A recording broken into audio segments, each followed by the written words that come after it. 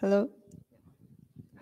Uh, hello, everyone. I am Yun Zhuo, or you can call me Emily. I'm a PhD candidate from Professor David Ascher's lab at the School of Chemistry and Molecular Biosciences at the University of Queensland. And today I'm going to present my work, DD-MUT PPI, predicting effects of mutations on protein-protein interactions using graph-based deep learning. Uh, the function of most proteins is intricately linked to the complex network of interactions they make. And many researchers have found that these uh, interfaces between the protein-protein interactions are enriched in disease mutations and the focus of drug development efforts.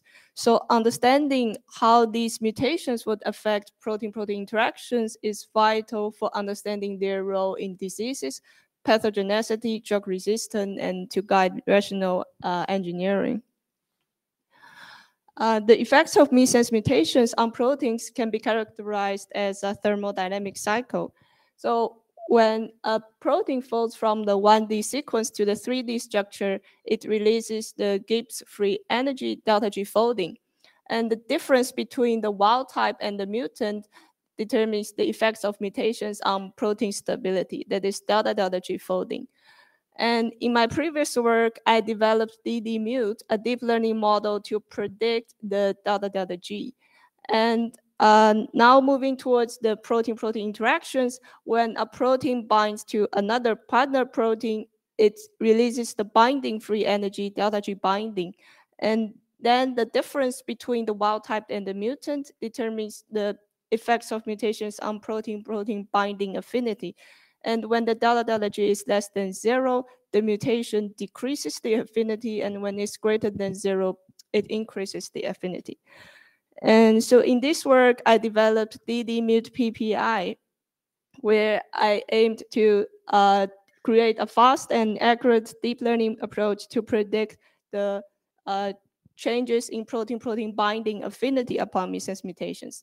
So in the original data set from uh, SKEMPI 2.0, uh, there were much more mutations with delta delta G values less than zero, and they decreases the binding affinity. And the original data set is colored in green here. Uh, in order to balance the data distribution, I introduced the hypothetical reverse mutation.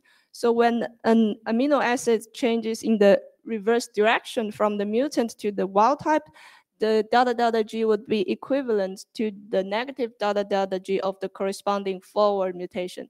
So after that, the full data set follows a normal distribution with a mean value of zero colored in purple here.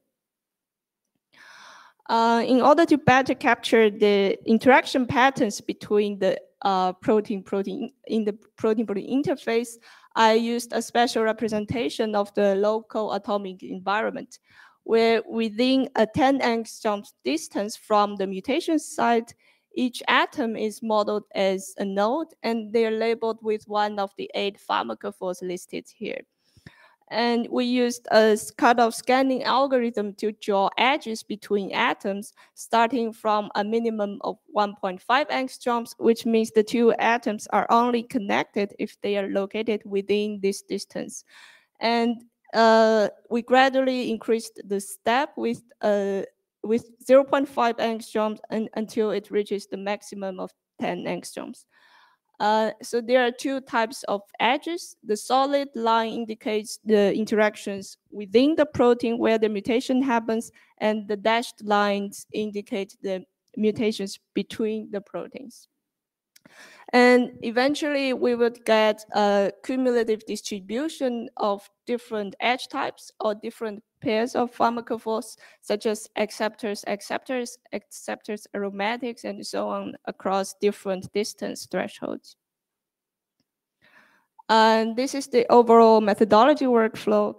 Uh, the protein-protein complex, the, uh, the structures were downloaded from the protein data bank, and we generated the mutant structures using MODELLER.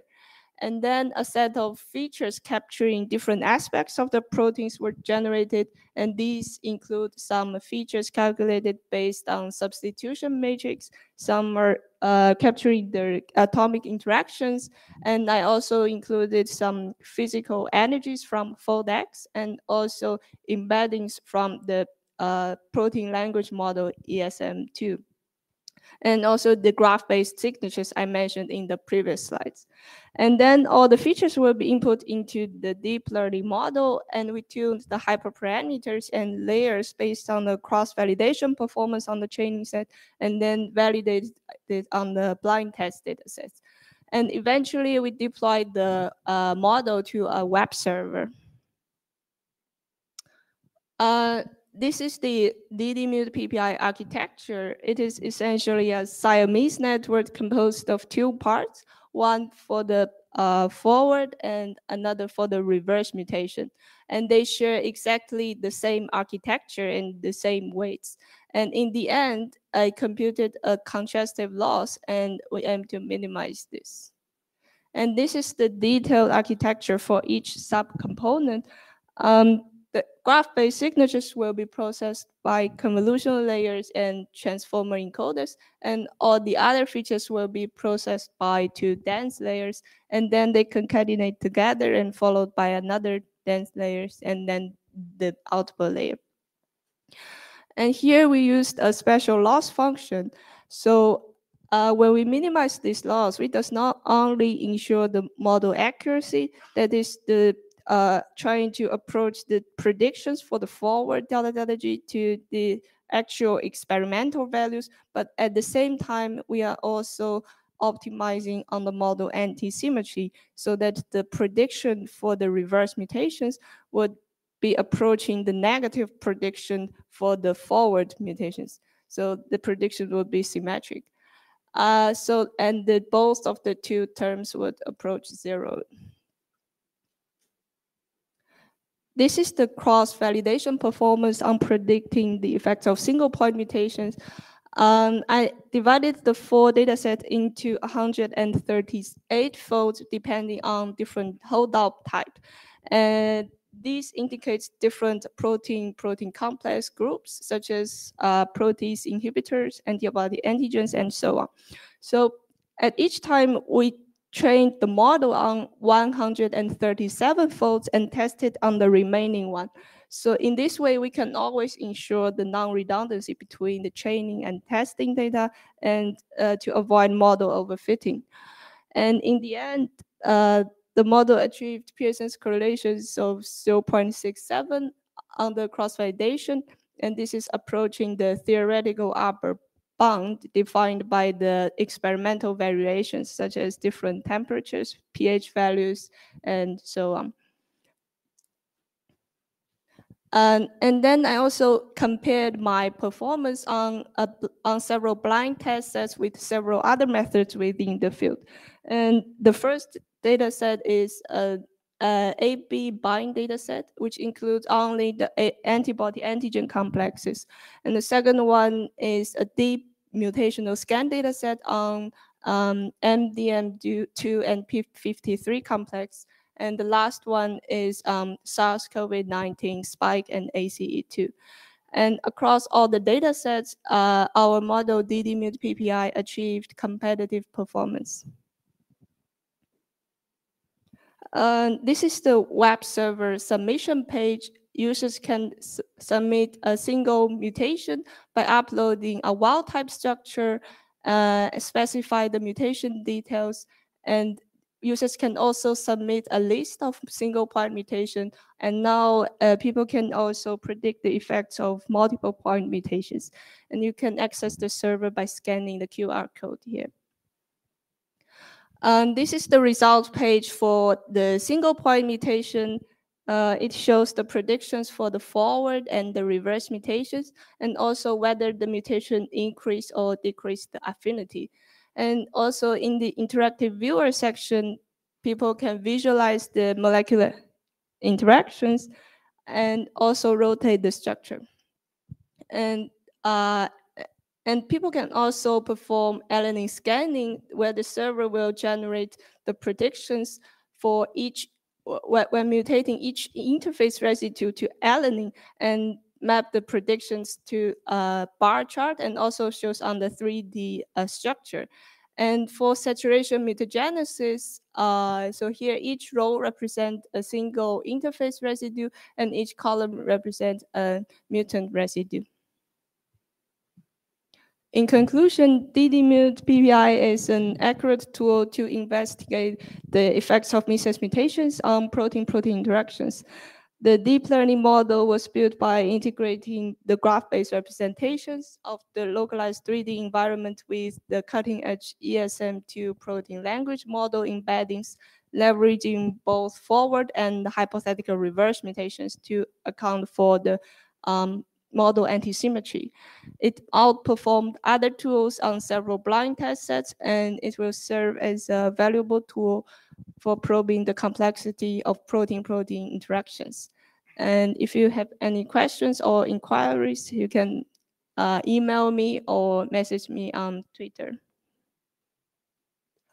Uh, in the end, I want to acknowledge the University of Queensland, Baker Heart and Diabetes Institute, my supervisors, Professor David Ascher, Rodrigues, uh, Yoochan Myung, and uh, also I want to thank other lab members for accompanying. Thank you.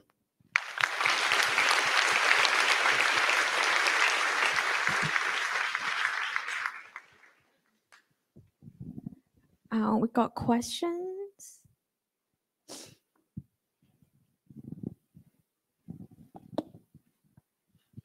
Hello, fabulous work. Um, really interesting presentation. Um, oh yes, my name's Naomi and I'm with the Children's Cancer Institute. Um, I'm just wondering about how you modelled the mutated um, protein structures. So you just mentioned that you, yes, it was modelled. Um, how, how, exactly did you do that? Was it just a single um, amino acid substitution? Did you fiddle with where the residue sat in space so that it wasn't overlapping the protein partner? Yeah. I generated the mutant structure using a program called MODELLER. So it only um, changed the side chain angles. It doesn't deal with any backbone angles, but um, sometimes it's difficult to really predict how the mutation would affect the whole protein dynamics. Mm. So rather than generating something very, very different from the wild type structures and it's not reliable, so I just focus on the side chains instead. Cool.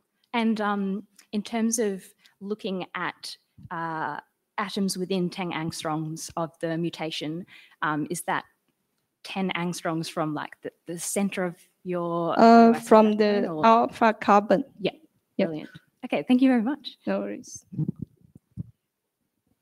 one last question you talked about some of the features you generated, uh, which include the graph-based signatures, but also there are a couple of other things that you looked at. Did you ever um, assess the importance of each of those features? Where did the graph-based signatures and the convolutional network, the leftmost one, how did that weigh as an important uh, uh in terms of feature importance versus the rightmost dense network? Did you ever look at that? Uh, so this project is still ongoing and I still haven't finalized everything yet because I just uh, deployed the server several days ago. So, um, so, in terms of the feature importance that I'm going to like, uh, it, it's my, uh, sorry. Uh, so I'm I'm trying to shuffle each single feature value and see like generate the noise and see how that will drop the final model performance. So if it drops a lot, it means that original feature is important.